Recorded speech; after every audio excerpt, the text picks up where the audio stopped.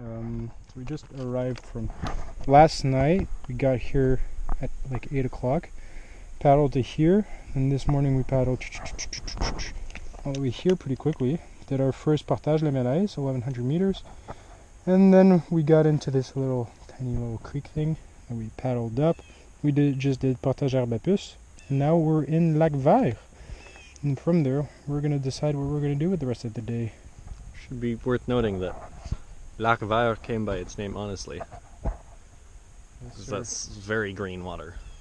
I don't know if that's just algae or like a weird reflection, but Oh, you'll see, it gets gets wilder than this. oh yeah, Oh yeah. that's hype. Yeah. So, Cool. yeah. Let's see what we'll do for the rest of the day. Good meeting, boys.